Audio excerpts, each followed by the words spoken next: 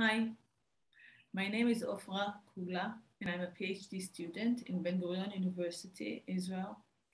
I'd like to tell you about my paper uh, my colleagues and I wrote, Dr. Ben Shachar, Dr. Eran Bar Khalifa, and Ruth Makhlouf, about therapists, interventions, and emotion-focused therapy for couples.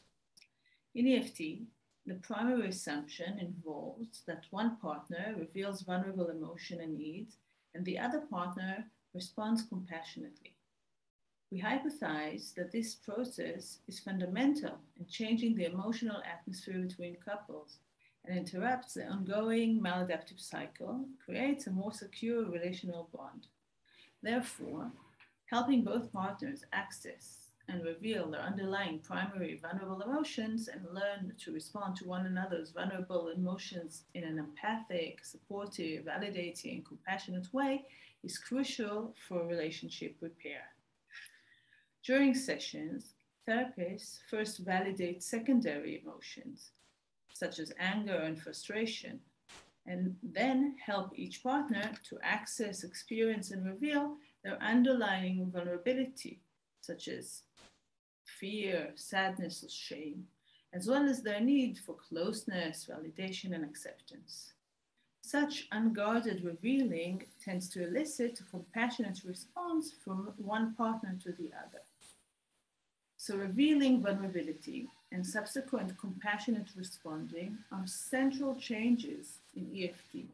And several studies have shown that such, such sharing and compassionate responding predict favorable outcomes, such as increased levels of trust and connection between partners and overall relationship satisfaction. Our study's goal was to examine the assumption that vulnerability expression and compassionate responding predict change. We focused on therapists' perspective regarding their interventions during a given session and examined how these interventions predicted partners' experience of resolution following the session. We analyzed data from the York Emotional Injury Project led by Professor Leslie Greenberg where couples received 12 sessions of EFT after dealing with emotional injury, such as an affair.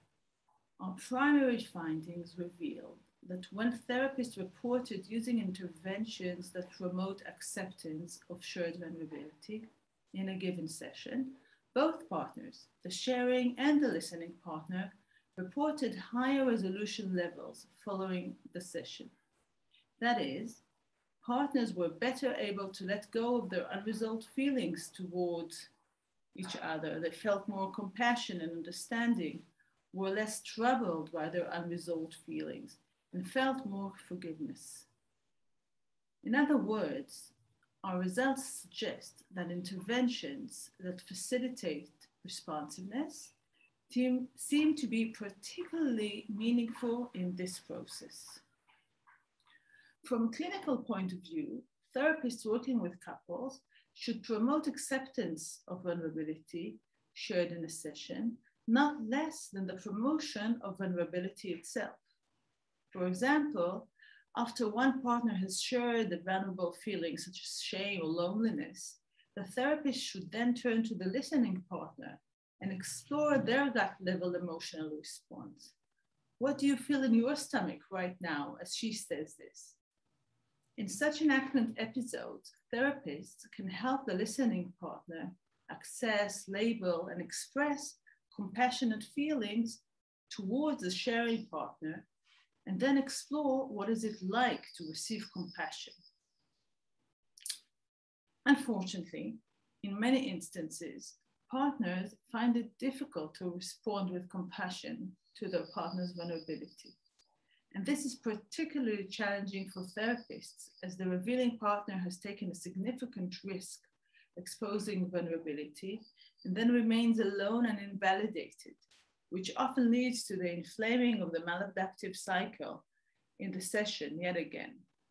When such blocks are activated in a session, therapists can try to address them by validating how difficult it was for the revealing partner to share vulnerable emotions unguardedly and not to get a supportive response.